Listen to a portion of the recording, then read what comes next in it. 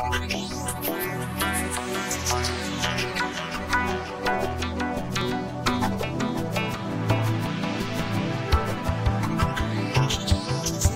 welcome everyone to the December 6th meeting of the Hadley Select Board.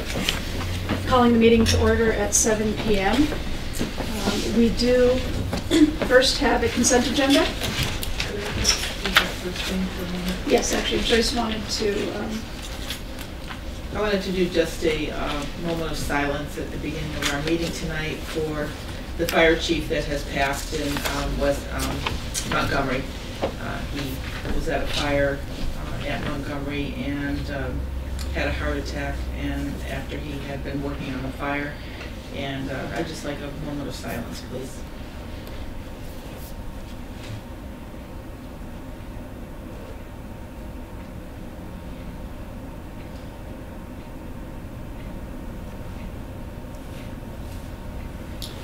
And his name was Chief, Chief Stephen Frye. Um, But I, and I just want to add to that also, that it's kind of a reminder to all of us um, that live here in Hadley and our surrounding towns that we sometimes take for granted what our firefighters and our police officers do. Um, And this is just an example of every day they put their lives on the line for us and um, just something that we should all keep in the forefront of our minds and appreciate and respect everything that they do for us. Thank you. Thank you, Joyce. thanks, Joyce. Okay, so first um, we have the consent agenda, and tonight we have minutes from October 4th, 5th, and 18th. We have payable warrants uh, 1821S, 1821, 1821V, and payroll 1821. We have um, a list of license renewals for 2018, um, and the select board has a list in front of us for that, as long as a common vic license for Pride. I'll make a motion to accept the minutes and the warrants for tonight's meeting. Um, On the license renewals, we have um, a couple that we were, do you want to take those separately. Yeah, um, people feel comfortable voting on the first two and then uh, pick apart the licenses a little bit? I do. Okay, so motion, Motion to Second. accept the first two. okay. All in favor of approving uh, first two items? Aye. Aye? I'm going to abstain Abstain? because I wasn't at those meetings for the uh, Oh, right. Okay. we past agendas. Yeah. So, yeah, I think there are just a couple of them on here. Um, So Steve Lewis Subaru is actually here tonight, and we're going to be having a conversation for a scheduled appointment. Okay. So that we could just hold off on that until we have that discussion. Um, Jennifer, you said that um, you've been having difficulty getting uh, information from NAMCO? Yes. Is that right? Yes, it's the arcade at the mall timeout. Mhm. Um, They do not have a business certificate, and um, based on policy we're enforcing this year, you have to have your business certificate uh, to have your license renewed. How So- we tried to notify them. Um, I've called them twice, I've left messages. Um, They did return their document and their renewal, all of their renewal forms and a check, it's just they're missing this business certificate. But I, I did build in the 13th to, to help people, um, since we've never asked for the business certificate before. I've built in the 13th for the renewals as well, just to help everybody get them and get on board. Um, I'm hoping that I will hear back from them within the next two days. And then, um, if not Monday, I'll be going to the arcade to speak to their manager. Okay. Um, And then Pride, so Pride, we have a common vic license that's separate, um, that's new. And then we also have the beer and wine license that was granted um, along with the original construction, right? So, I mean, at this point, um, David, we were talking a little bit, in terms of the beer and wine license, there haven't been any infractions because they're not even open yet. Correct, correct? correct. So, I got one more comment Sure. on these. Uh, Again, well, as I said before, the grease ga- uh, grease trap schedules and inspections that need to be addressed in our rules and regulations.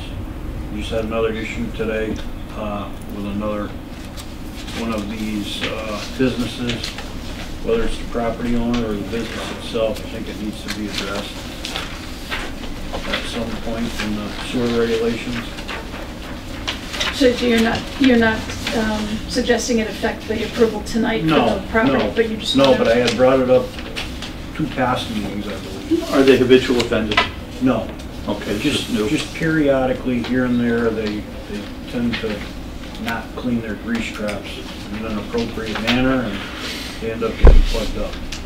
Um, This particular one hasn't made it to the town sewer mains, but a few of the other ones have, so. And Marlo, is that something that, I know you're Yeah, I already spoke working on? Okay. today. Yeah, right. Our goals and objectives for this year is, is reviewing all the, the water and sewer regulations, and John, I've had discussions on it. And So yes, that's part of, We have had other people though in the past that were somewhat of offenders. Has that been Yeah. re- rectified? That's doing much better? Mo- Most of them, yeah, have a regular schedule. Okay.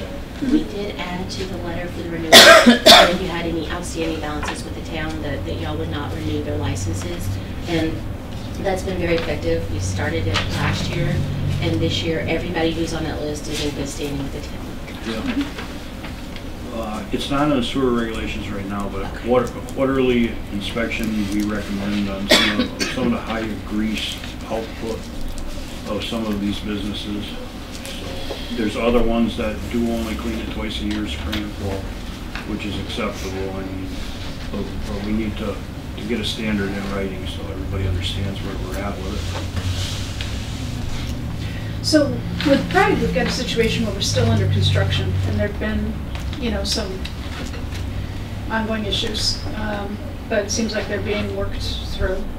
Right, so, but is, David, is there a way for us to, um, I know the approval has to happen by the end of the year and we only have one other meeting. Is there a way for us to um, approve these licenses but then, then hold them until they've Right, well, all of that- their other obligations? That, that is, uh, that's a choice that the board can make, you're right, you need to, you you need, particularly with respect to the liquor license, you need to s- be able to document to the Commonwealth that you've renewed the license or failed to review, renew the license by December thirty-first.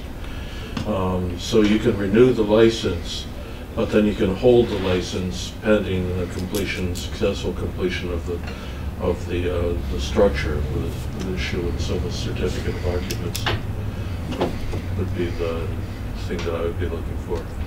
We were here too, not too long ago and we had some issues and I, I'm gonna assume those issues have been resolved? Satisfactory resolved? There was a communication problem that was gonna be resolved are- because we now had a new contact that we were gonna be working with? it's still ongoing. Uh, We are, all the inspectors are putting in more time th- on this project than most. uh, But we are having cooperation, continuous cooperation, which is a good thing. Good, good. I must say, on site, the gentleman that is in charge there, that I am in contact with, is extremely professional. He is trying to do his utmost best. And uh, I have, as you saw in my last email, I'm trying to get him to have more input in calling us specifically for those inspections rather than going up the chain a little bit further. And I think that's where the problem has um, aspirated this whole issue with uh, making sure we have timely inspections on certain things. Right now, everything's on a good pace, so I'm hopeful that it stays that way. Okay. And um, the common vic, can that be handled the same way? or Same that- way. So, okay. I mean, I- I- that would be my preference unless people just want to let it go through, but I think just until we have a little bit more track record here, it'd probably be good for us to have some opportunity to right, Yeah, it's fine. hold everybody accountable. And again, with the expectation that it's going to go fine, so. Okay. Make a motion to accept the licenses as is, uh, except for Steve Lewis, we will do later. Namco, we will hold on until they, uh, do you want to do a contingency on that? Um, I think we just hold on the Just vote hold for on it. both. And Okay. because we can, you're going to have a cleanup round next week? Yes. Oh, okay, so Yeah. hold on that. And uh, on the Pride uh, approval for um, the one license that we've already approved and wait for the second one. Or- Is it? No, we're- I'm doing Oh. for approving both, but we're holding them subject to Approval. approval for their certificate of occupancy and everything. Second. Okay, all right, all in favor? Aye. Aye? Aye. Okay. Um, So that's it for the consent agenda. We have a scheduled appointment at, is that what you guys were here for? Yeah, the new license then. Can I just make an inquiry, just in terms of for the common vic? Uh, Again, James Channing for Pride. So we, we Yep, yep. applied for one common victualler for the whole establishment, but there also will be a Subway that's located in there as well. So I don't know if the town, I can tell you, some cities and towns prefer us to have two separate common vic, one for the Subway, one for the Oh. store. What would be the non-subway common vic, what would that The, cover? the cafe bakery type, the food mm-hmm. service, like the hot dogs and the soup and the other. Is that- so we probably need to have the two. All right, then I'll submit that second one, then we can Okay. address it. The other ones are separate, the one at Walmart's separate and uh, the one at the mall's separate. Okay. Be consistent. Be consistent then. All right, so- Yeah, good question, thank you. What, what else is going in there? So we have Pride, we have a, a um, Subway. What else, is anything else going in? We have the- the liquor store. We will have our, our food area where we have just standard, you know, coffee, donuts. Um, We have, uh, we'll have a deli case in there where we'll slice meats and cheeses, uh, a small grill to do breakfast sandwiches, Is there any No seating? Dunkin' Donuts stuff. seating, No. yes. Right, so there's no, No Dunkin' No Dunkin' Donuts, no. We're not gonna get our sixth one on Route 9? yeah. Our coffee's better. Not that, not that, not that Dunkin' Donuts isn't good. Yeah. Is it, or how about, are you selling propane gas from there? No. No. I think the, the propane exchange is something that's been contemplated, but I don't know if it's been approved yet. I know, I kind of heard that somewhere in my mind, I don't know where that came up, but is that There's a propane tank on site for, um, food? for grills? heating and everything else that they need, but right now, there's propane. for- We're fighting hard to get gas on the road, but we're not having any luck, so sorry. Not your fault. Okay. All right, thank you. that's all. Thank you. Thank you. Thank you. Thanks. Um, So we have a scheduled hearing at 7:15, but we've got a few minutes, and there was a request made to take the Lake Warner, is it Lake Warner Dam that requires the notarization? Is that right? Yeah. David, you want to take that up? All right, so the Lake Warner Dam, uh, uh, we originally voted back in uh, 2014 to support the project with $100,000 that came from the Community Preservation Act funds. It was uh, addressed by town meeting and approved. We're in the process of spending those funds in order to complete the project. We have about $15,000 that we have not spent, $85,000 that we have. Um, in order for a private entity to receive CPA funds, they need to um, grant to the town of Hadley a historic preservation restriction. The his- purpose of the historic preservation restriction is to make sure that the structure that is being supported with public dollars remains a historic structure. So, for example, the church next door received um, uh, money from CPA. They needed to enter into a historic preservation restriction so that the church always remains as a church. Uh, For here, they have to certify, they have to uh, enter into a restriction agreement that the dam is going to remain as a dam, which is an easy call to make. So this, uh, this involves no money on the part of the town other than the original appropriation of the uh, hundred thousand. It does not obligate the town for any future repairs or any liability. Uh, and it does not uh, convey ownership or rights in the dam to the town of Hadley. Simply a historic preservation restriction. Uh, we're not gonna, we're not gonna see them turn it into a car wash or something like that. It's gonna stay a, a dam. Who's responsible um, in reading the uh, paperwork on this? They had something about making sure that they have insurance for this. Who's responsible for doing that? They're responsible for maintaining the insurance Like the Friends of Lake Warner. with Friends of Lake Warner On the dam. on the dam. And has this um, document been approved by our lawyers? Yes, so the original historic preservation restriction was approved by uh, Rick Holland of KP Law. It took a couple of years for this to bounce around So just the other day, I sent it over to Joel Bard of KP Law. He reviewed it and gave me the verbal okay this afternoon. Okay. Anything else? Motion signed. Motion made, is there a second? I guess second. I didn't vote for it, but I'll say second. All right, motion made and seconded, all in favor? Aye. Okay. Here you All right, so you need it us to- There are two copies. Yeah. Yes. And each night need to sign each of them where it says Nice. select board. All right. And then I'll, I'll finish it up in the next room with the no- notarize your signatures as long as I've witnessed them. Oh, wait, sorry. Oh, Two pages? Mm-hmm. Uh, nope.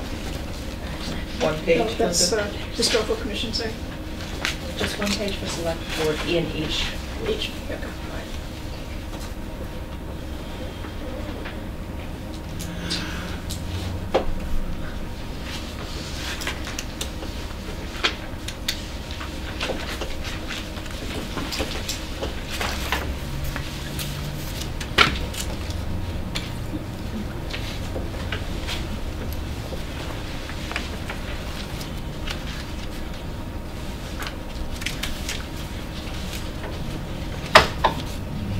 That's historical commission. So we don't have one signature.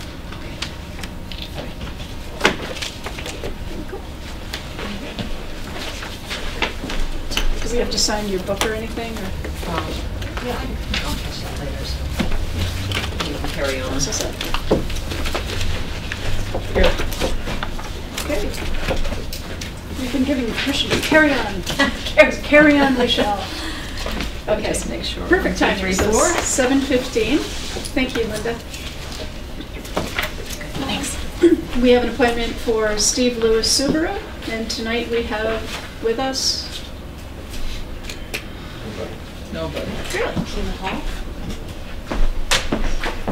Weren't we expecting the uh, general manager? Yes, we Yes, they called and confirmed with us that they were coming. Okay. Um, Well, in the spirit of neighborliness and being business friendly, we'll give them a couple of extra minutes. Uh, I'll do the Heiners. Yeah, I was just gonna say, can we do the um, Hynoski property closing documents, David? Sure. Do those need authorization too, or no, just signatures? I think, uh, Do those need to be notarized as well? no. Okay. So there are two items of business to do here. The first is is that we have a closing that's uh, scheduled for December 14th. Uh, In order for us to get to the closing, we need these documents signed tonight. The first is the quit claim deed and the attachments, um, and and a check for $380,000, which uh, processed through the the accountant. Uh, So that's the first part of this.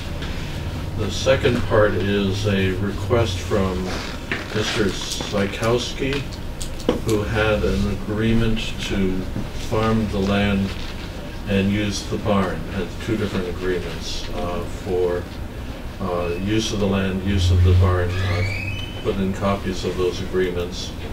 He's asked that these these agreements continue until next August uh, or July. Uh, If you think about the development of that project, uh, we're not going to be breaking ground until July uh, or August or September of next year anyways. So the property is going to remain unutilized by anyone until we have a town meeting vote at the annual town meeting to raise the additional funds for the um, fire substation or some other, other uh, use of the property. So by the time you go through the bid documents and the design, you're not, you're talking about a date that's beyond next growing season. Do we have two agreements here, or just the one? There should be two agreements. Plainville Farm was the first one up at Devon's. Yeah, so if you look at the top, the top of the page, it says agreement, then there's, uh, then there's signatures, and then the, uh, the next agreement starts below the first set of signatures. Oh, okay. This part I'm missing.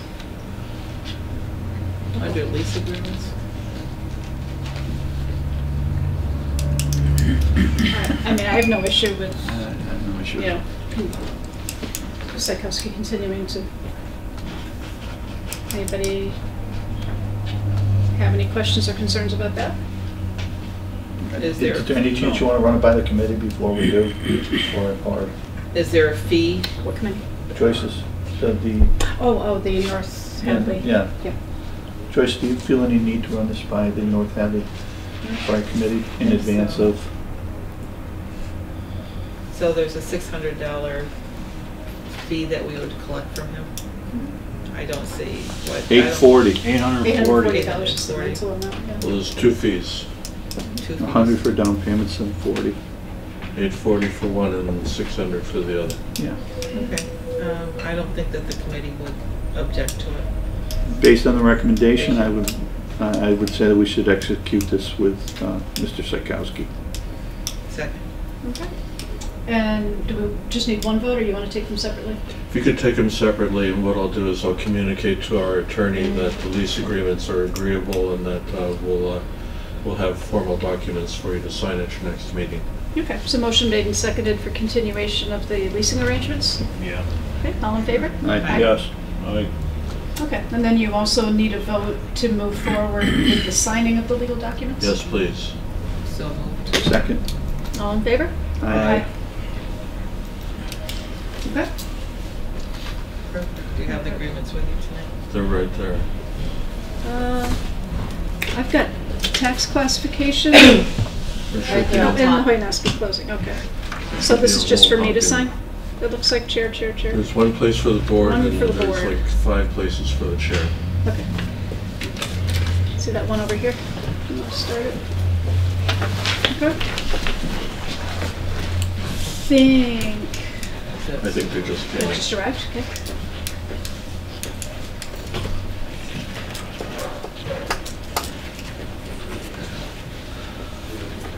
It's just a one page down, I think.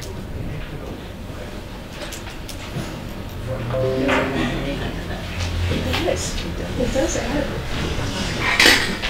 Wally didn't always want to have his signature. WC. It's WC. WC Fields. Evening.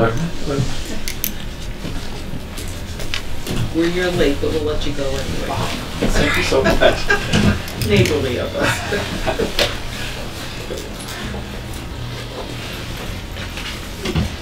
So in the uh, spirit of time, I'll, I'll catch my signatures at the end, Jennifer, okay? Okay, so um, going back to Steve Lewis Subaru. I apologize that we're late. I thought we were at the senior center. oh, That was my bad. That's on me. Okay, and so who do we have with us tonight? Hi, I'm Joe Clark, General Manager at Steve Lewis Subaru. Joe, okay? Tracy Stearns? Joe and Tracy, okay.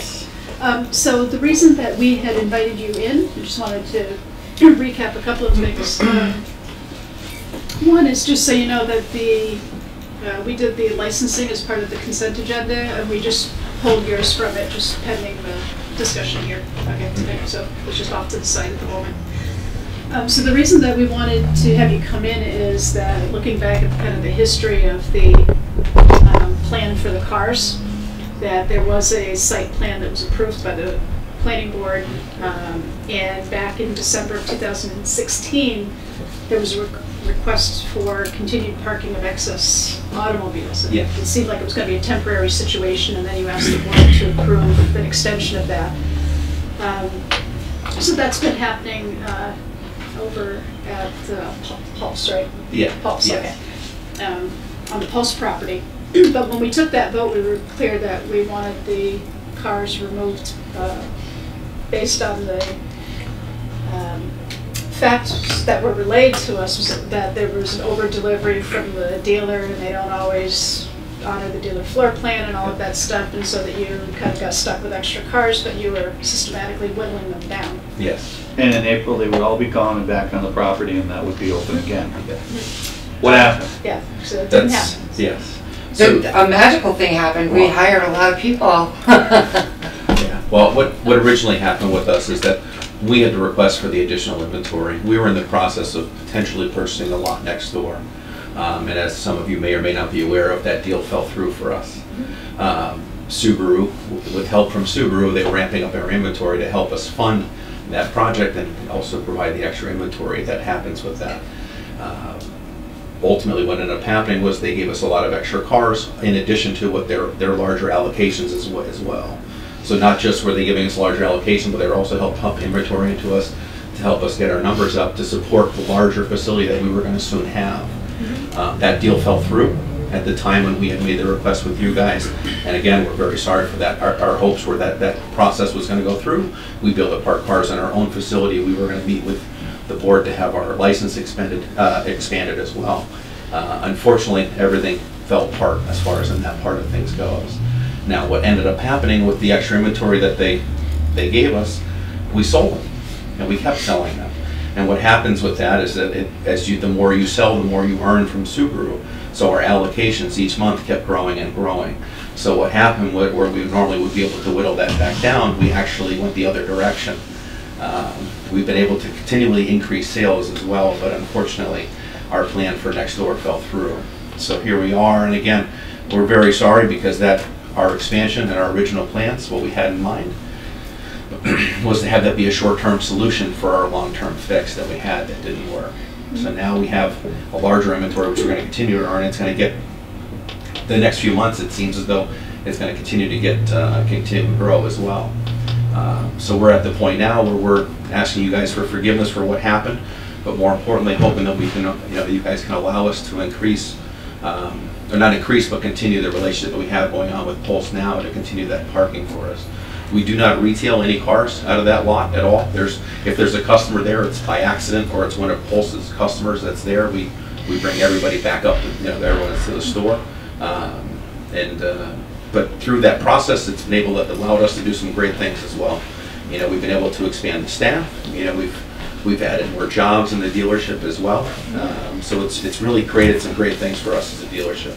But I know that goes against what we originally had asked you guys for permission for, and for that, we are Well, can sorry. I just ask, I mean, so this expired April 15th of 2017, it's December 6th. Yep.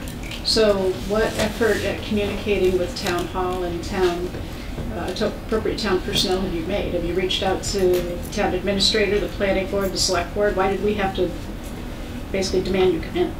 I don't have a good answer for you for that, for, for that, I'm sorry. But that's why I'm happy, you know, when, when uh, we were invited to this meeting, I looked at this as an opportunity to ask for that, uh, opportunity to expand our, for the planning board, for our license. You'll forgive me, I don't know how the technical part of that works, but this opportunity, we looked at this as a chance to, to try to do the right thing, to continue to do the right thing. I think at the time, some of us really didn't feel that, you know, a few cars were a big issue.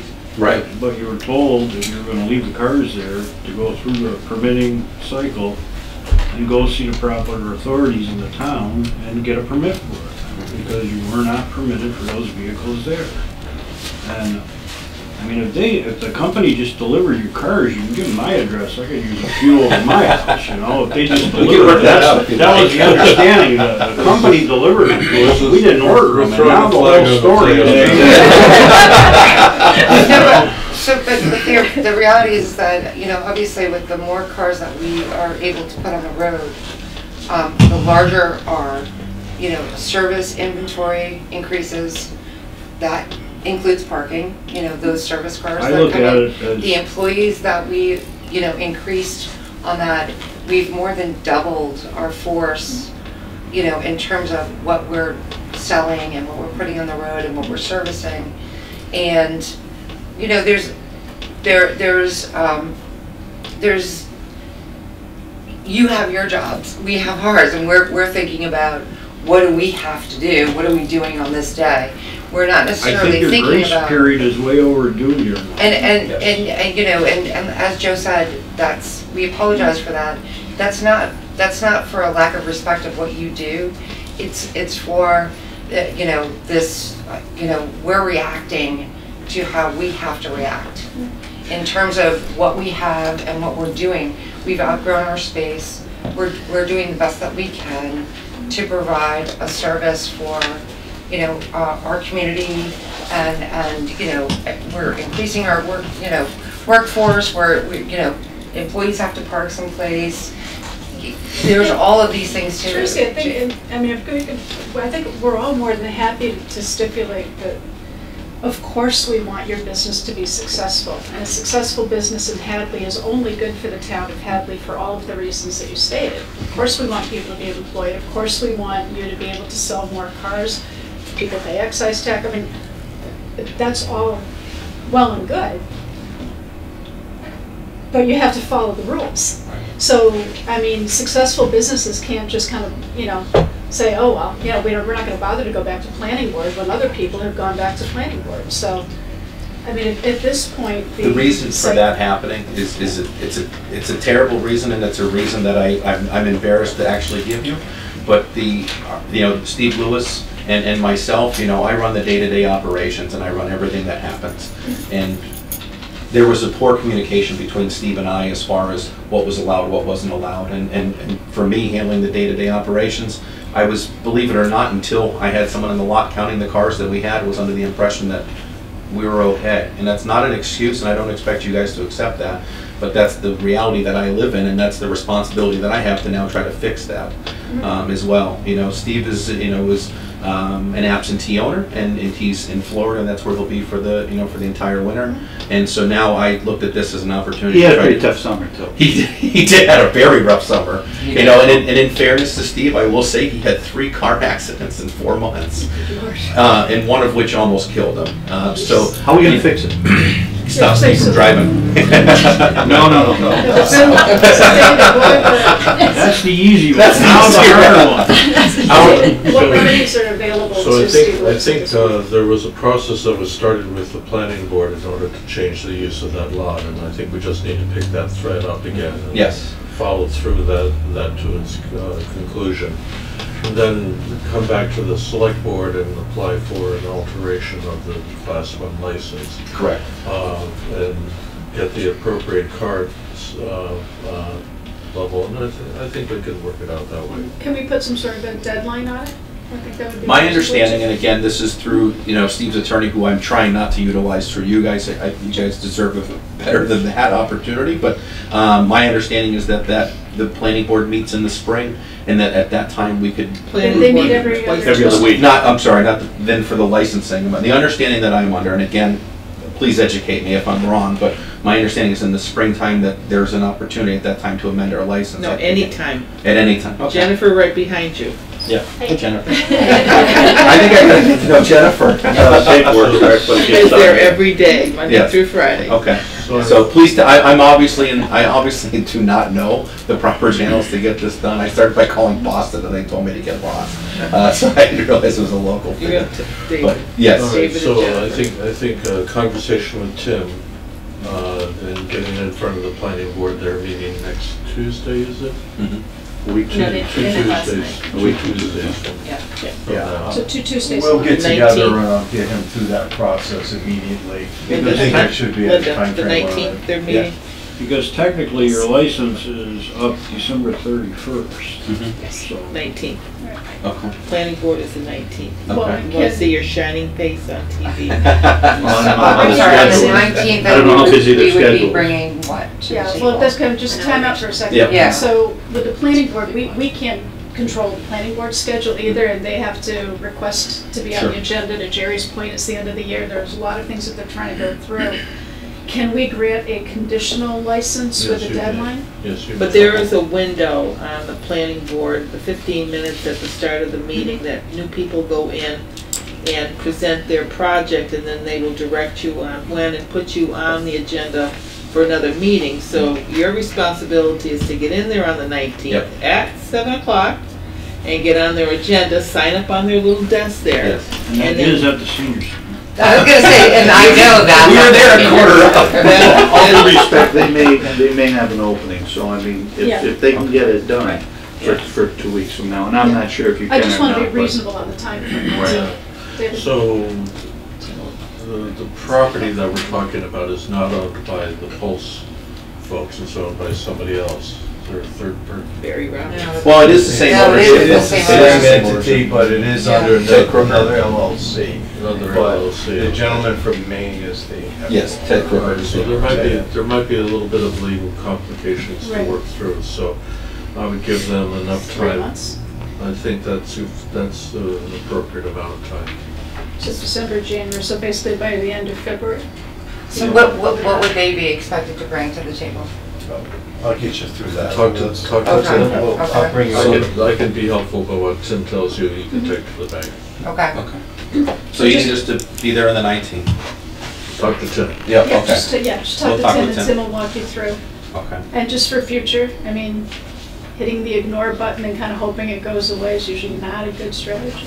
And we don't bite, we're actually Yeah. reasonably And friendly. the adver- So we're actually very happy to Steve, get with the involved. advertisements at five thirty in the morning really gets me because, you know, this Well, has that been way too two long. us. That's We, we like businesses in Hadley, so Yes. we're, we're just trying to be your friends and have you do the right thing. And Steve Lewis Subaru has been an excellent, excellent um, Company. company to town work with in town of Hadley, and we love having you here. Thank you very Just much. please, let's work within the system. Yeah. Because the next dealership down the road says, how come you let Lewis do it? Right. And that's our problem, so we gotta fix this. Yeah. Please help Yep. us.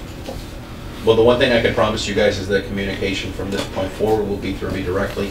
Um, And again, there, being there every day and being involved in the day-to-day operation, I understand what you guys have for needs and and what needs to be done, so that makes it easier going forward. Um, So David, do we need to take a, um, Vote on the a vote license. on the license then? And Yeah. so c- conditional, um, All right, we'll grant your, uh, class two? Class one. Class Class one, one. class one license on condition that all, um, of the, uh, rules are met. um, For a three-month period. In a three-month period by the end of February. Second. Is there anything that we have to provide between now and then? You're gonna You're talk gonna Dave, to Tim, Tim. Tim, Tim Call Tim tomorrow morning. No, I'll take him over. Oh, take him over, you're not, he's gonna do it now. He's Okay. gonna work you down. so Thank you motion so made and much. seconded, all in favor? Aye. Thank you. Thank Thank you. you. Thank you. Um, I brought some dog toys.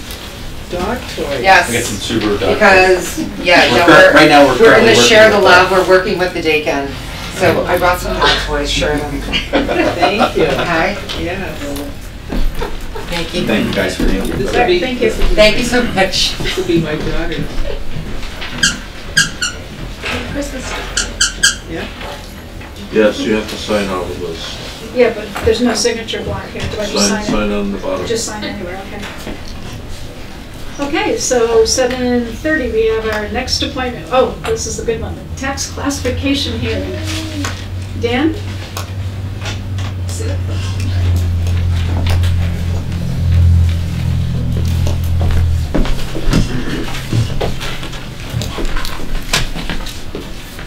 Hello. Uh, It seems like we just went over this. I'll make this fairly quick. Uh, Each year, you've got to vote for different options, and I'll briefly touch on each of those. Uh, The first is the allocation of the tax levy, whether to have a split rate. If we have a single rate for fiscal 18, it will be $12.09. If you were to shift it to the maximum 150%, the residential rate would drop to $8.89, the commercial rate would go to $18.14. At 1209, the average residential property will pay $3,884. If you shifted it to full 50%, that would drop to 2,856. And the uh, commercial property assessed at the average residential value, which is 321,300, would go from 3884 to 5828. And before you go any further, this takes into consideration, because that was a big question from people, this takes in the new assessments, correct? This is the new assessments and the $95 Override. override that Okay. is going on for this year. Uh, On our report on page four, there's five properties, four commercial and four residential properties.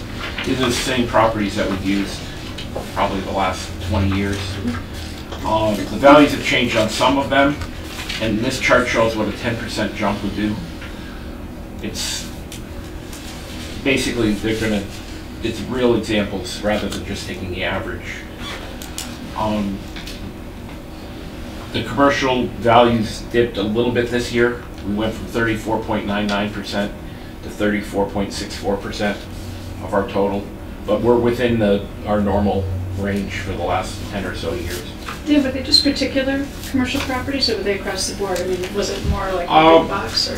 The big box came down more The, the smaller stuff, we didn't see a huge drop. It went up probably about two percent, but that was offset by, by, uh, reductions in the larger stores. The second option is the open space discount, and we basically don't have anything classified as open space. In 2002, DOR had recommended that we shift the few parcels we had from open space out. This would be an option if you went with a split rate, you could stick chapter land in here.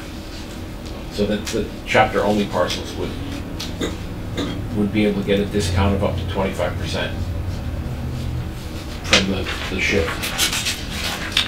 The residential exemption is the third option, and that is where you could shift thirty-five percent of the average residential value, or exempt thirty-five percent from all owner-occupied dwellings. The average value, average residential value, this is not just houses, but includes land, is just over two hundred ninety-five thousand. So each house would get a reduction of one hundred and three thousand off of their value. Because it doesn't shift levy out of the residential class, any house that's assessed at three hundred ninety-five thousand dollars would pay more in taxes. So it shifts the tax burden to higher assessed homes. And because of that, the tax rate would, that would have been twelve oh nine would jump to sixteen dollars and thirty-eight cents for residential. And an owner occupied house without an exemption would pay thirty-eight eighty-four. If you were to shift it, the full thirty-five percent exemption, they would drop three hundred and fifteen dollars, while a non-owner occupied house would go up by almost fourteen hundred dollars. The final option is the small commercial exemption, and that is you can grant up to a ten percent reduction on small commercial properties. And the definition of small commercial property is anything that is less than a million dollar assessment and fewer than ten annualized employees. The report we get from Department of Employment, there are 52 properties in town that would qualify for that.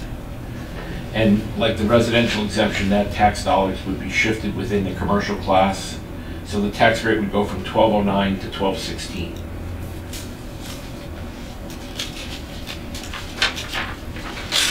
Uh, How about temporary help in the summer for the farmers? Would that be under this category? Uh, it's annualized employees, so if they've got 30 people for Six months. six months, they would not qualify.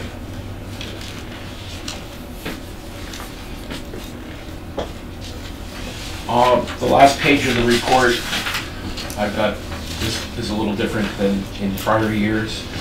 Uh, it's ten communities in western Mass, mostly Hampden and Hampshire counties. What their average value is for last year, what their average tax bill was for last year, and the tax rates, and the percentages of residential and open versus commercial, industrial, and personal. And there's five communities that have a split rate, five communities that do not. And they're, they're ranked by their, their, the amount of the average single-family tax bill. And the assessors have voted, uh, or are recommending that a single factor of one be adopted for fiscal 2018, which would keep a single rate, that no open space discount be granted, that no residential exemption be granted, and no small commercial exemption be granted at this point. And just for the record, too, in case everybody didn't see their email, the uh, planning board also discussed this last night And they and wanted to voted, make sure that they, they voted on a single rate also. yeah, that they, they were recommending a single rate and um, supported their position as well. Any questions, comments for Dan? Or anybody else? I've been watching the news and I've been watching Greenfield and I've been watching a few other communities with their, they're bouncing back and forth and, and right from the beginning, actually, I went to talk to a lot of businesses and the, the middle, the middle road is, is the problem and I don't think we really have that. That kind of determination of what we're gonna do with the small businesses at this point, you know? The big boxes probably can afford a little bit, I don't know, maybe not.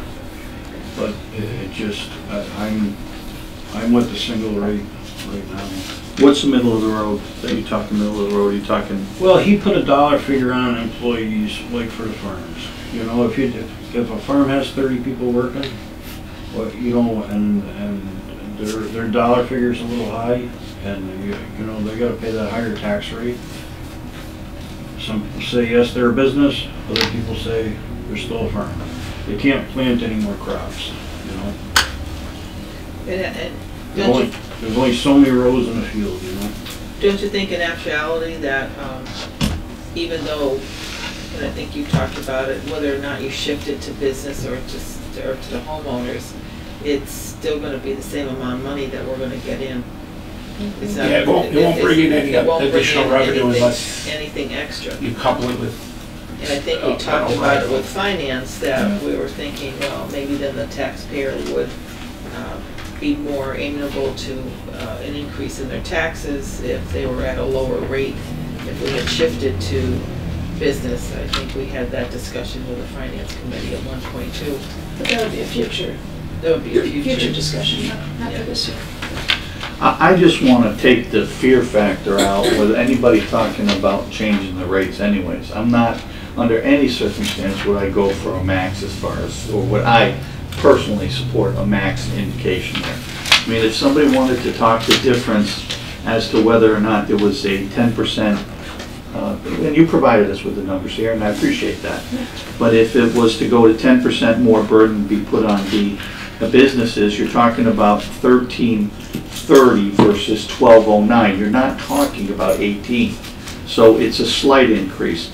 And the taxpayer, uh, the homeowner would go from twelve oh nine to eleven forty-five. So it's not a tremendous savings on the other end either. It's just a redistribution as to how that would go. And that was certainly more in line with, with any of the thought process that I had rather than looking at a max increase or anything like that. Now, Greenfield went, went Yeah. when I looked at the Greenfield Yeah. number, I thought, I thought it was a joke. I mean, Yeah. I just, and my brother owns a business in Greenfield, and he just, he was like flabbergasted. So that was, that was, that was just kind of off the wall, and I think that was, that was destined for a problem. That thank goodness they didn't do it appropriately, and it didn't, it wasn't able to be reviewed anyways, but it will be up again, and it will be discussed again.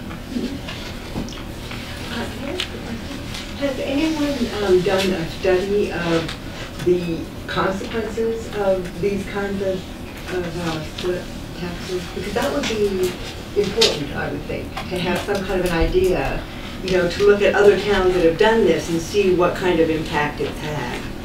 We're being offset, make a change like yeah, we're being offset now technically by our business and industrial areas. So if that stops, you know, we're, we're gonna be further, further down the road here in a couple of years. We're gonna be in worse shape than we are now. I think to that point, Valerie, which is- is why I I certainly don't get a sense of, here, we haven't voted yet, but this would be a significant change for Hadley.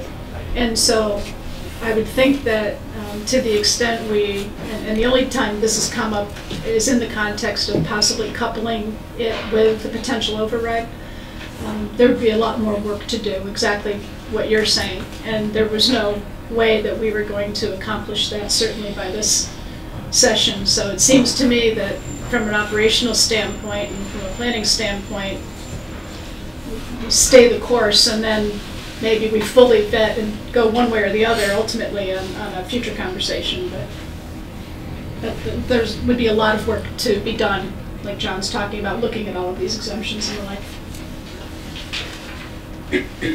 Anybody have any more questions, or? We'll make a motion to keep the tax rate at a single rate. And and the other three. Oh, the other three to accept the recommendations of the assessors. assessors. I'll second it. Second? Okay, all in favor? Aye. Aye. Okay, all right, thank you for all the work now. Please pass along to the assessors, we thank their hard work We too. have documents to sign, right? Oh, yep, yep, yep, yep. And this is everybody? Yes, please. Yes.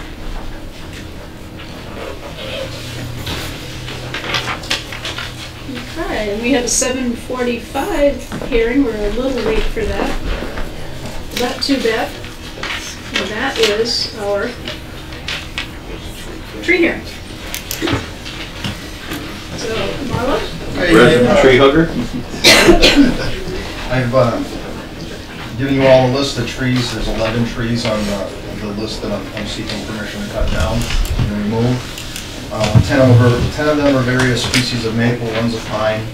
Um, They all have varying degrees of of decay, and uh, most of them have been trimmed to the point where they no longer have foliage on them. Um, And a few of them are reaching to the point of where, you know, they need to immediately be taken down. Um, That's a generalization of the 11 trees. If if you have any other questions on that, then I'd be happy to take it. So moved. Second. Anything? Question and comment. For discussion, no, you gotta, second. No, no, no, you Second told me for to discuss it discussion. with Marlo first, and I did, just before I left work. Okay. Stumps, we still got a big issue, and we need to either have them ground or buy a grinder and get rid of them. They're doing tons of damage to the town equipment. And, uh, you know, it's just been gone on too long. They need to be removed some way, somehow.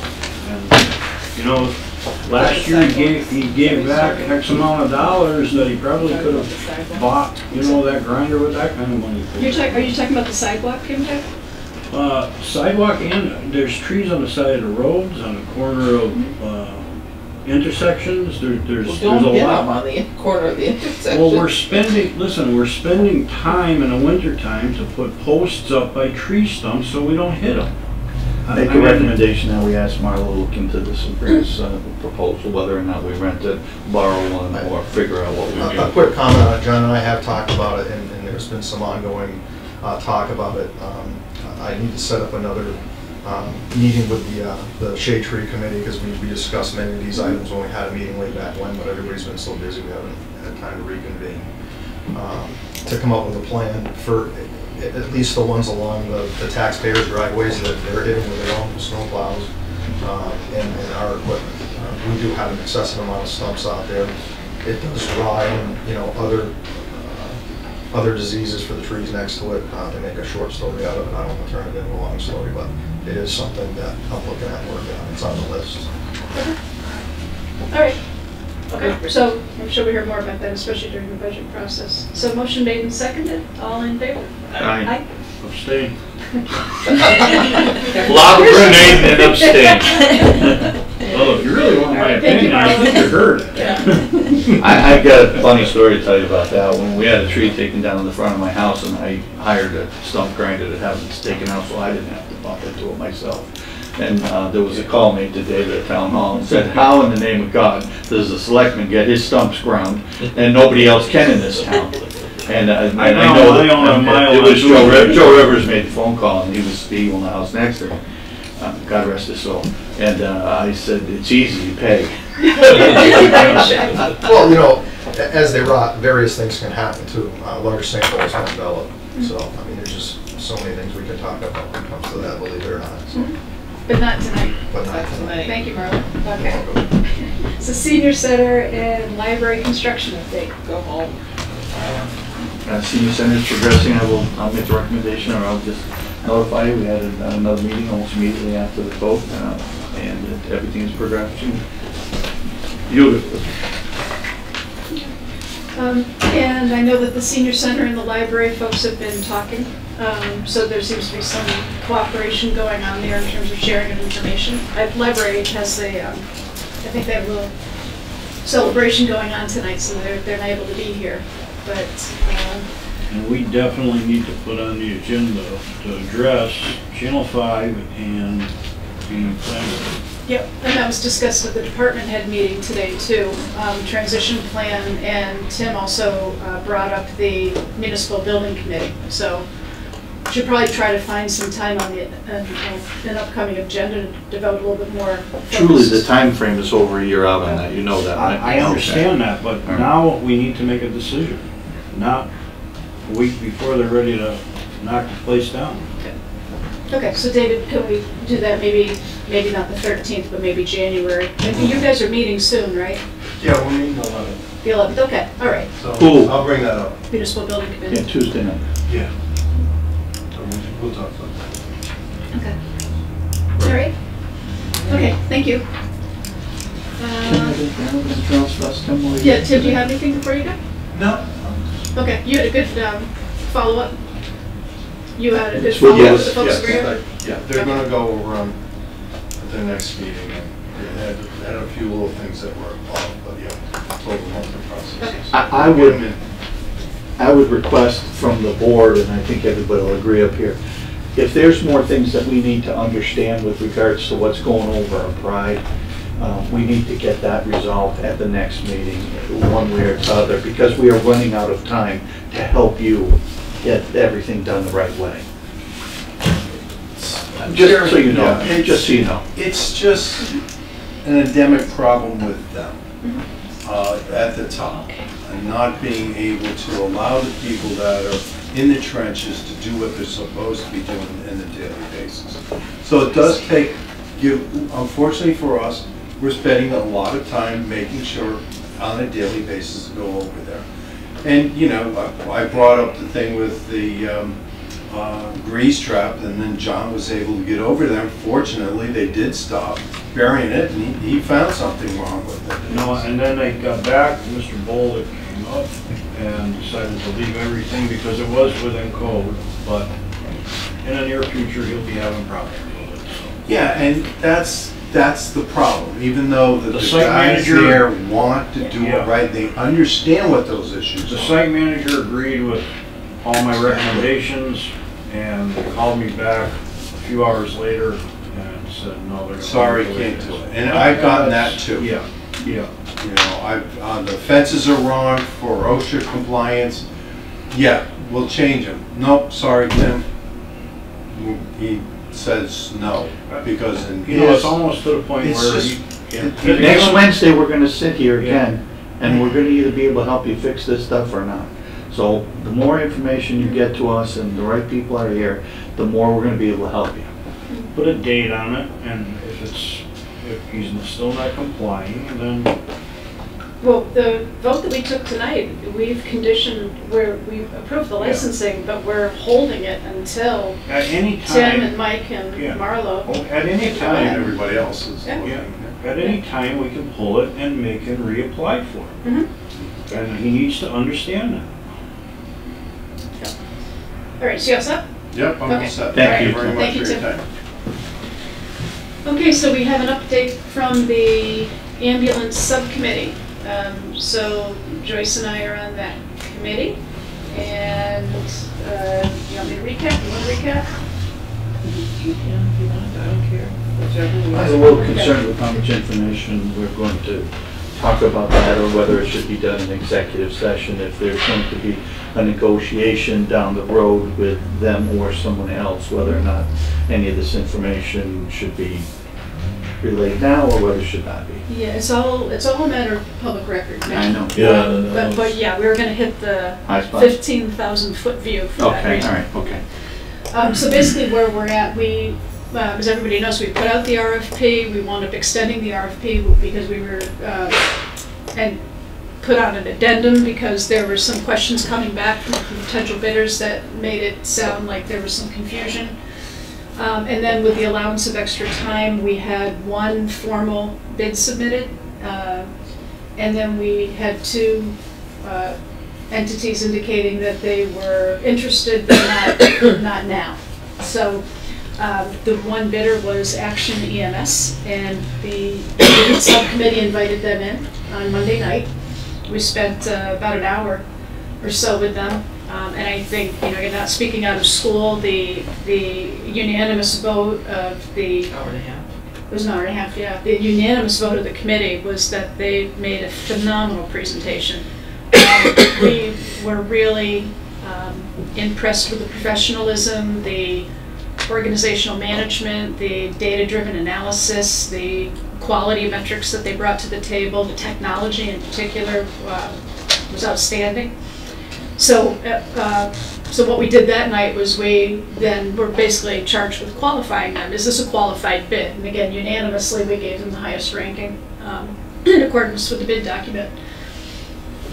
After that, David then was able to open the actual bid. Um, So the bid that they've submitted that you have in front of you here um, would effectively, you know, double the costs that we're currently paying, knowing however we are, you know, uh, we're at the end of that contract cycle with Amherst, and we're gonna be going back to the table with them anyway. So at this point, um, the committee had agreed that depending on the outcome of this, that we would reconvene. So we have another meeting scheduled for next, uh, two, two weeks. 19th, Tuesday the 19th, we're planning on meeting again. Um, So we're going to regroup, we're going to discuss this. We are also going to have some additional conversation with the town of Amherst. Um, David talked to Paul Bockelman today, and Amherst is interested in continuing the conversation. Um, We would also like to go back to Action EMS and really dig into their costs, because uh, we want to make sure that whatever um, bidding they've done was on the best information they had, but we haven't had a chance to dig into it and find out, is there some other, uh, perhaps a modified version of this that might work for us as well. So more work to do. Um, Sounds like an excellent plan. Okay, and so We're- that's. uh, We're anyway. also going to um, do reference checks Yes. on other towns that they're. I was gonna say. Right, before we get too far, How, yeah. how do the private concerns work with uh, mutual aid with the town concerns? We had really nice uh, letters from Holyoke, which, Okay. where they are. uh, Hand in hand is the answer though, right? Hand in hand. Hand in hand. Okay, Right. Yeah, it's, uh, that was one of the cons- concern questions for the, mhm. Uh, the other one is, even at two hundred ninety-five thousand, It's still, uh, I don't see one point six million for a full-time fire department and ambulance service here. Quite Okay. honestly. so anyway, that's where the, that's where the committee stands, some more, more work to do to dig into this, Yeah. okay? Thanks for the hard work though, I mean, that was great. Okay, FY nineteen budget discussion? How about the water abatement? Oh, no, we didn't do that. Ambulance discussion, budget. Okay. I'm just going in order. Yeah. Hey, talk. Doesn't make it go budget. faster by swapping them around. Sure. Yeah, okay. Okay, so goals and objectives, uh, town meeting warrant. David, did you want to?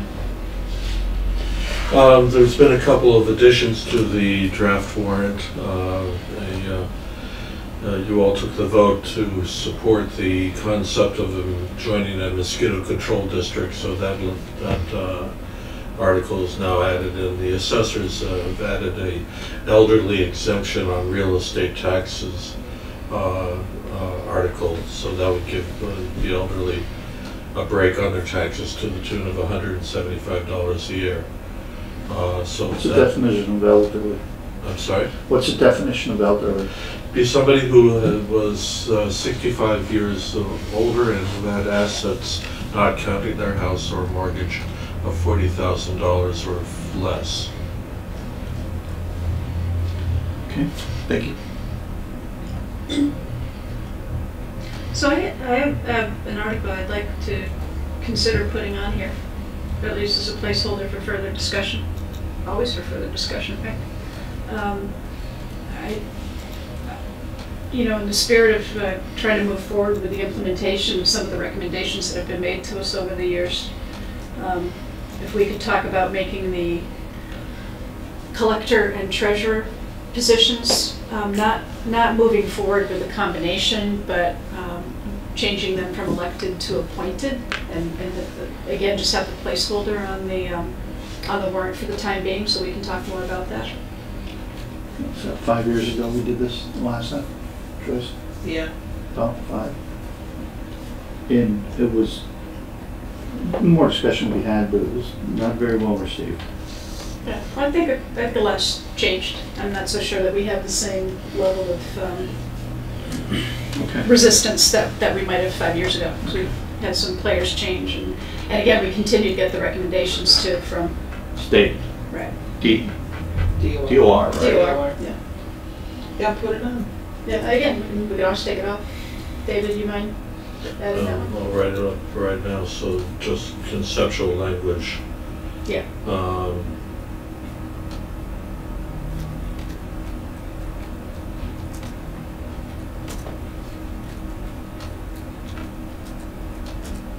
Joyce, I don't know if I've been down there, was your big road bridge straight out? It's straightened out. I told Marlo there was a few barrels still on there, so we're gonna look Look at at, it the tomorrow the morning. macadam was good now. So somehow we need to move forward and figure out what sort of um, instruction we're gonna be providing to the department heads. And David, today at the department head meeting, you, you pretty much at this point have everybody going on what I'm gonna refer to as the, kind of the, the grunt work. I mean, no matter, no matter what the instructions are, there's still a certain amount of work that needs to be done to look at your prior year actuals and, you know, look at your staffing and all of that other stuff. So I think all of the departments are already working with that information. Right, there are certain things that don't change from year to year. The, the, vehicles need gasoline, the uh, lights need electricity. Um, we need to have trash pickup, we need custodial services. So the departments can be working on those parts of the budget that are recurring and, and required. So, um, you know, Any then- mandates in each department from the yeah, state whatever or mandates, federal? whatever contractual uh, arrangements are, are happening. So uh, I'm having them work on that, but we're, s- we're waiting for the directions from the board. What's the uh, noise bylaw? What's that about? The noise bylaw, this is, uh, we have a noise bylaw on the books right now that works really, really well for college parties, particularly at night. Um, But it doesn't work well for other noise complaints that we receive. Barking dogs, or what's Well, another noise Yeah, so the the complaint of the the dispute between the neighbors uh, at the malting operation on Middle Street. Yeah, yeah. Uh, The the occasional noise complaints that were received from parties on East Street at the Young Men's Club. Uh, We don't want to have a situation where we're, where we're so technical in our, in our noise measurement that we need physicists recording decibels from multiple locations. That's unwieldy, that's un- impractical. We don't want to be in a situation where any noise at all generates a finable offense for people. So we're trying to find some common sense middle ground to make this noise bylaw that we already have uh, more, more applicable to other situations other than college parties. Does the chief have recommendations from us? Has he done some research in other communities to provide us with something that would be, or, I, I, I know it's just, you know, it's rel- relatively simplistic here, but is- is he researching that in other communities? Right, so we went out on the, uh, the resource lists and, uh, solicited, uh, noise bylaws from other towns, and we got about a dozen samples. The chief is, chief of police is working on, uh, coming up with something that's workable. He's also, he's also talked about another bylaw, uh, that he may want to submit, and what was that about? Uh, He mentioned at the, a department head meeting today, and he said that he's researched um, what other towns have to deal with um, buildings that were have like, you know, blight basically, that, uh, you know, if people have graffiti on their property and it's um, unattractive Offensive, and yeah, offensive, yeah. that they need, and so it would actually give him the teeth to fine um, whatever, I mean, that, that was one example, so he's, um, planning on submitting some language to David before the deadline on that as well. In the absence of a bylaw, is there no board of health or, no? Uh, You can take a property due to blight, but I mean. Right, you a really taking. need to get to a pretty You bad. need a bylaw for you it to need- be offensive. Well, you have a state law, you have Mass General Law, Chapter 111, that covers health and human habitation, um, but you really need to be in, you need to be in code violation, basically, before you can really pull that trigger. Okay. So just going back to the budget, um, so at the last meeting, we talked about, you know, that we needed to do two things. One was to really nail down the revenues and make sure all the revenues were for, accounted for. And I know that um, Linda Sanderson in particular has been spending a fair amount of time and, and working with Dan Zadanek and David on, on crossing the Ts and dotting the Is on every single revenue line item. Um, and there's been some, some positive discovery in that regard, but nothing, nothing that big. And then we also talked on the expense side about before we sit down and figure out, and John, I'm sorry you missed some of this, but it's important if we're talking about potentially increasing services, that we have a much better handle on what, again, monetarily, what are we talking about? Are we talking fifty thousand dollars, two hundred and fifty thousand dollars? So we did establish some small working groups. Um, So I know that, so it was information technology, human resources, and you were looking into uh, starting a conversation about uh, potential regionalization. Only three? No, I think we also talked about the finance, which I don't think we've done anything with that yet, but, um, so the information technology group, uh, we did meet, and um, David today has the follow-up material that was missing um, to establish the domain server as a first step that we could move forward with, but David um, just got that, and he's going to be sending that around, so watch email.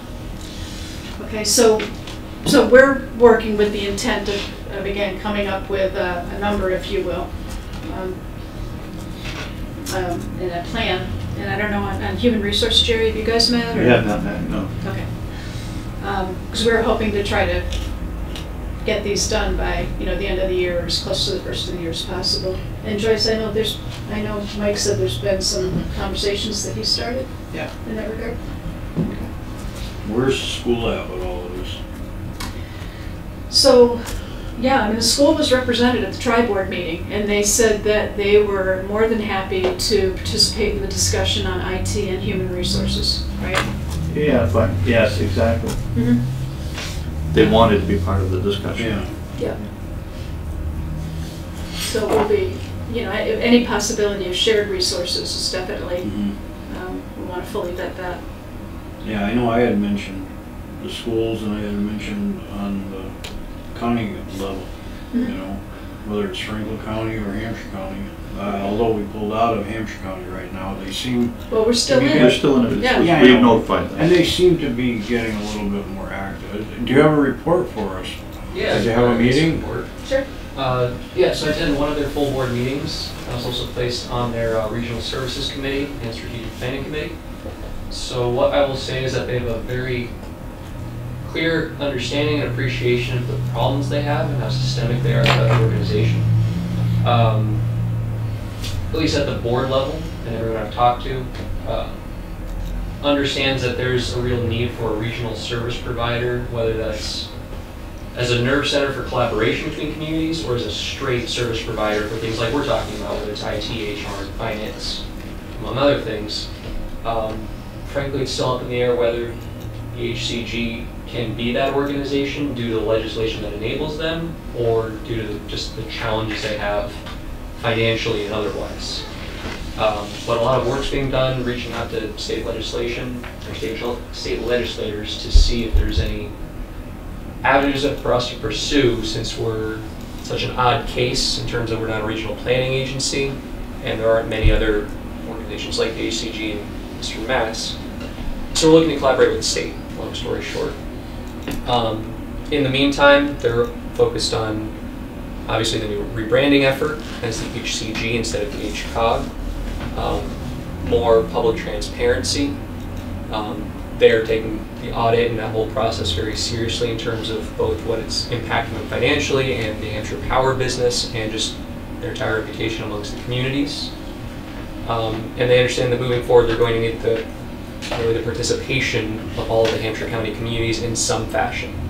Um, This is, this is the board This as well, tr- Yeah, the- specifically the board. specifically the board, and then that distilled down into the strategic planning committee. Um, so while it's always started at the board level, the strategic planning committee is tasked with really, whether it's writing a letter to the state legislatures or coming up with a way forward, as it were.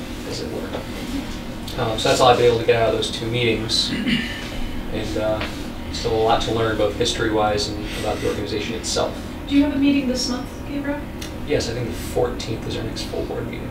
Okay. And um, is year-to-date financial information going to be available at that meeting? I don't think at that meeting. Um, Not until January? Not until January because they're really making an effort to do everything on a cash basis now, because remember that was an issue before. So they really want to get everything reconciled and reported very accurately before presenting anything, Okay. even amongst the board members. Okay. Yeah. All right. But when we get that, we'll be happy to pass along. Thank you. HR is still in there. Um, I know that we were talking about when we had a presentation, that they were looking at establishing an HR uh, support center for Yeah, that's- municipalities. Is that? It's on the agenda, that's part of the Regional Services Committee, which I have not yet met with. Okay. But I sit on that, so I will be. Thank I you. think they submitted a grant for that uh, with the Commonwealth Cap, uh, Compact. Okay. Okay, so we have more work to do then on those subgroups. Um, And again, I know that the department heads are are starting to clamor for instruction, but as long as they're, they've got their sleeves rolled up, there's no question, and they're working um, hard already. And I think as long as we provide that by the beginning of, or around the beginning of January, it should be fine. Um, But I think what we kind of concluded with the look at the first pass on revenues, and again, there's been a little bit more, you know, dig- digging in under the hood, but I think um, reasonably what we're looking at is about a $400,000 increase. You- yeah, I think you had 360, we said, uh, you know, Could be as high as 500 depending. that, that would be a stretch, yeah. Yeah. Yeah, but say comfortably, we can assume 400, and if the gravy gets a little Yeah. thicker, that's awesome. I'd, I'd stay on the conservative side first. So, yeah, putting that in context, the next step is, is David is working now on taking the existing budget and then just kind of looking at the, the uncontrollable line items, you know, state aid, that kind of, state assessments, I should say, to see, you know, I mean, I think we all know that based on past experience, that four hundred thousand is probably already accounted for just by rolling from one year to the other. Um, So, but we'll, you have a target date to have kind of that initial look at expenses or? Right, so the revenue consent agenda or the number should be available today. We're having hearings in Boston on that, so that'll give me a sense of, you know, how much is the economy expected to grow overall. Uh, It'll give me a sense of how much we can uh, adjust our, um, our local receipts as well as what can we expect from state aid. Um, In past years, that number has been overly optimistic, so if they come back and say growth is going to be at four percent, I'm going to say I don't believe it. Two percent I can believe. Um, I'm working with the accountant right now in order to come up with a more accurate figure for the administrative chargebacks, which is both the expense and the revenue source. So things are beginning to come together. The, the numbers that we're looking for are, are beginning to gel up. Okay. And the finance committee, are you guys meeting or? Probably the twenty-first. Okay. Okay. You're hardcore, right before the holiday. Well, we were, we were doing a conduct meeting this week and, um, next week doesn't seem like it's gonna work, so. Would you guys pull names and you gotta exchange presents or what? Oh, when are we doing it? I want you. All right. What can you get the guy that's got everything? Yeah, seriously. She's gonna give you a new car over there on the table. So David, yeah, yeah. Serious. You should have catch it. That was on TV. So, so, so, I think there are a couple of slam dunks here.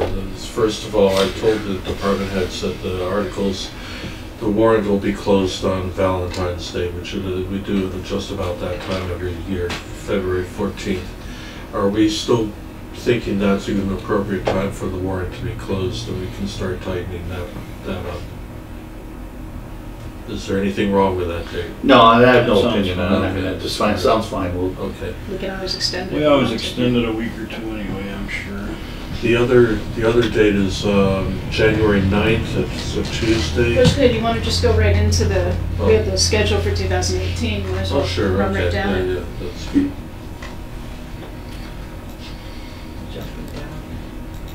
Okay, two birds with one stone, just read it. All right, so I've suggested a, uh, a countdown calendar for the select board uh, to the annual town meeting and a little bit beyond. Um, Three meetings in January, three in February, two in March. We may have to change that. Um, Four meetings in April and three meetings in May. Uh, Tri-board at the beginning, first meeting of every month. Uh, January 9th would be an all boards meeting, that's a Tuesday. We do have room reserved, do we not? We have uh, a temporary reservation. We have a temporary reservation. We have to confirm it. I was waiting for tonight. And that all boards meeting, I think tentatively we're talking about having the updated master plan as the focal point of our discussion, so the planning board will take a, a central role in presenting that information, and that'll help us think about where strategically we want the town of Hadley to go. Warrant closes on February fourteenth. April twenty-fifth, we have to sign the warrant. Public forum on the annual town meeting on April twenty-sixth. And a week later, we have our town meeting.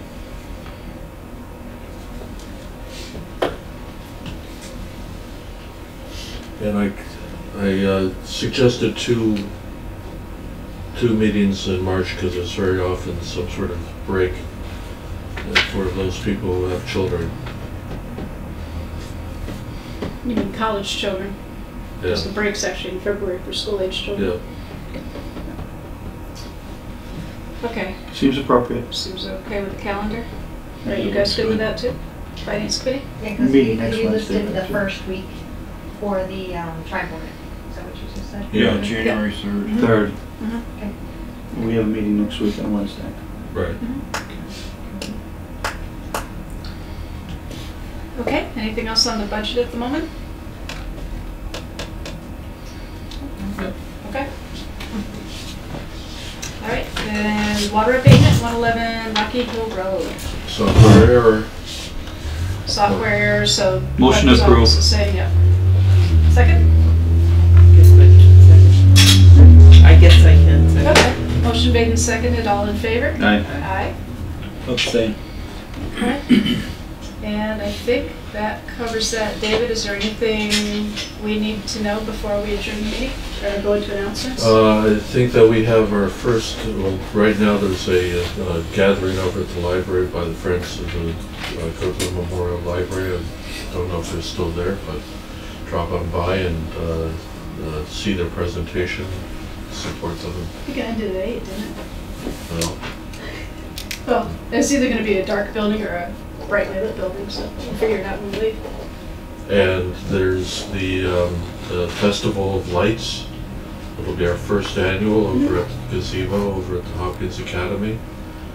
And uh, the, the fire department, uh, Friends of the Fire Association are having a comedy night this week as well. So lots of things coming up.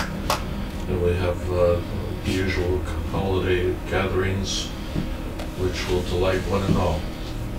At Saturday nights, the, the lighting or that we have over here, Yes. at Festival of Lights, Celebration. yeah, is there not a uh, Dedication of the tree. collection for um, Oh, toys. toys to be Yes. brought, which will be uh, donated to the Shriners Hospital, I Yeah, believe? the stuff a, stuff a truck, Stuff truck. stuff a truck. So anybody who's attending the, uh, Mike Spanknebel will mention it at the department head meeting.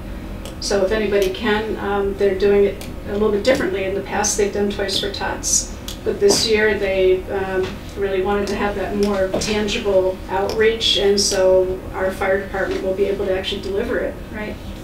Directly to Shriners, to the kids. So they're pretty excited about that, so hopefully everybody can support that. Please join us on Saturday night at 6 o'clock over at Hopkins Academy at the gazebo.